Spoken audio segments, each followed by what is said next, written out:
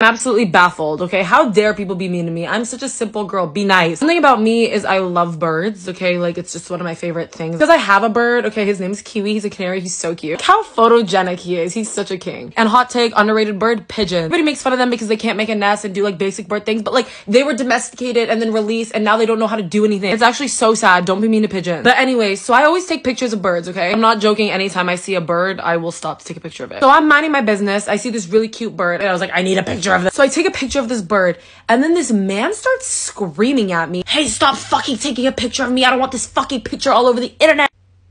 And my friend was like, yo, dude, relax. She's just taking a picture of the bird. She just likes birds. He's like, no, I know how these young girls are. They take pictures of people and post them online and la da da. I don't want to go viral on TikTok. Sir, let's calm it down. You cannot pay me to post you on TikTok. Photo in question. All I do is be perfect and sweet and angelic and love birds, and this is what I get.